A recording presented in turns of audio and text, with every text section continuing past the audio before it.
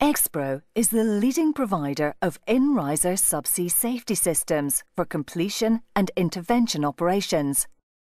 Expro offers subsea landing string technologies to assist in conventional subsea Christmas tree completions. Before completing a well with a conventional subsea Christmas tree, a drilling rig is placed over well centre and drilling operations are conducted. The subsea blowout preventer, or BOP, is deployed from the rig with a marine riser. This provides a conduit between the BOP on the seabed and the rig at surface. The marine riser also provides the conduit for any intervention into the well during drilling and completion operations. The BOP is lowered until it is just above the wellhead. All of the subsea infrastructure will be inspected by a remotely operated vehicle, or ROV, which is controlled from the rig and gives real-time images from its cameras to the operators on board the rig.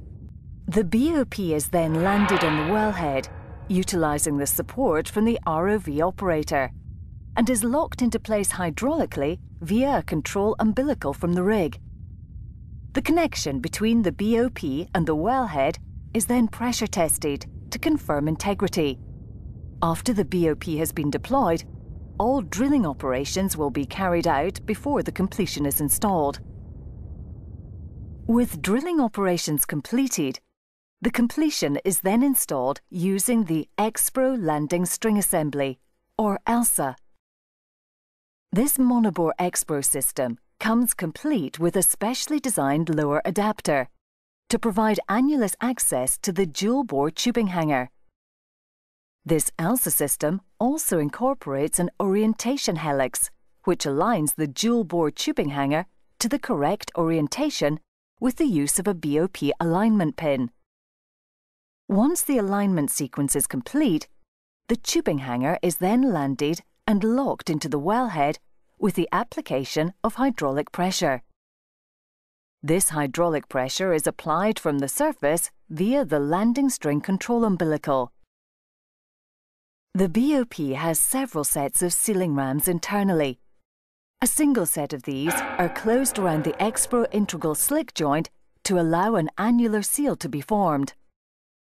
The ELSA assembly will also be configured within the BOP stack so that the BOP shear rams can be closed above the subsea test tree in an emergency situation.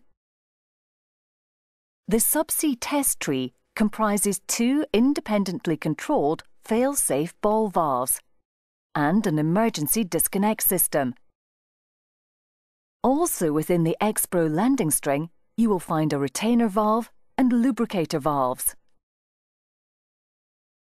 Like all other landing string valves, the subsea test tree is controlled hydraulically from a control module on the rig via the landing string umbilical. The hydrocarbons from the well will flow up through the Expro landing string and back to the well test package on the drilling rig.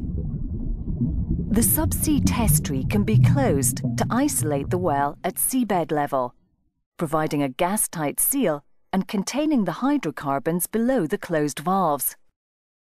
With the subsea test tree closed and the well isolated, the emergency disconnect latch can be disengaged to allow the landing string above the subsea test tree to be retrieved. The retainer valve is closed to retain the hydrocarbon column above the valve, and also vent any trapped pressure between the subsea test tree and retainer valve. The subsea test tree would then unlatch and be lifted clear of the subsea test tree valve section. This can be to allow the passing of bad weather or to disconnect from the well in an emergency situation. After the emergency conditions have been controlled, the subsea test tree latch section can be reconnected to the valve section and the retainer valve reopened. The interface between the latch and valve sections of the subsea test tree can be pressure tested against the upper subsea test tree ball valve to prove sealing integrity before the ball valves on the subsea test tree are both reopened.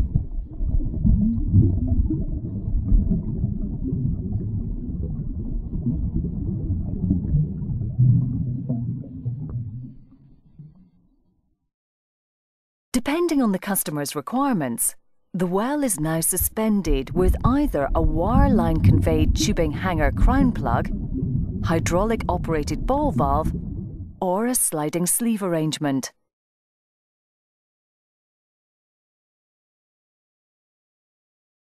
Now that the well has been suspended, the BOP pipe rams are opened from around the integral slick joint. The tubing hanger running tool is then unlatched from the tubing hanger and the full landing string is retrieved to surface. The BOP connector is then unlocked from the wellhead.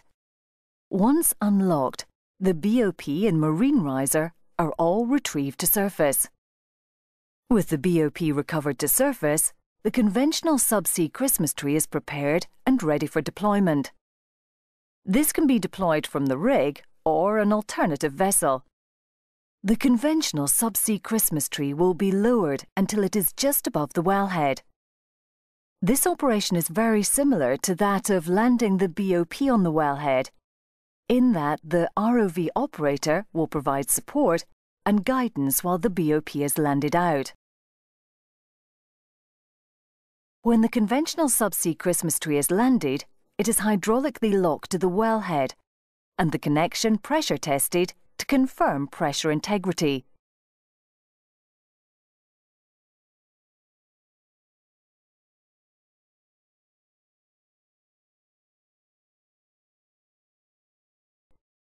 The tree running tool is then retrieved to surface.